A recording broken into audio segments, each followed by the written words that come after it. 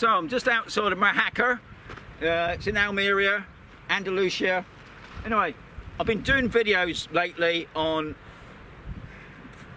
places that just don't get finished. That happens a lot here in Spain, so always be wary if you're buying property off the cuff to make sure it's actually there. Anyway, this complex here, which is down on the beach, now this isn't a, a national park, shouldn't have been here in the first place.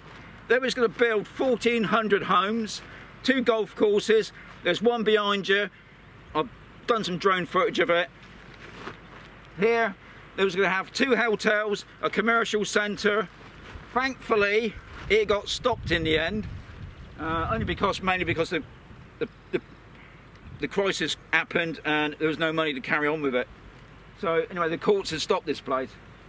So it's just some structures, but I can't believe 1,400 homes. And believe it or not, that hasn't stopped. Now this is back in, I think 2007, something like that.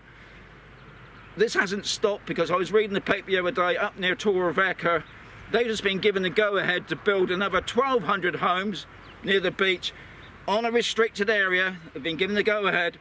So, like I said before, if you're thinking about buying property, make sure it's been built. Don't buy off the cuff. anyway, I hope you enjoy the vid.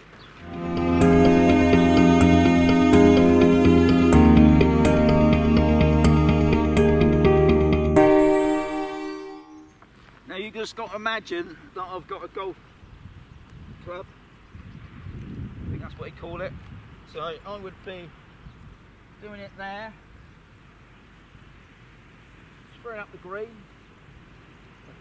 They've got the bunkers. They've got loads of bunkers. You know, to send a drone up in a minute, give you a capture of it. But yeah.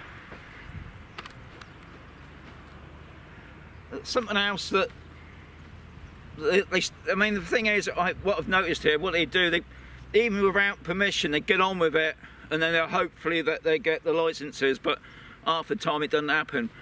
What a waste of money.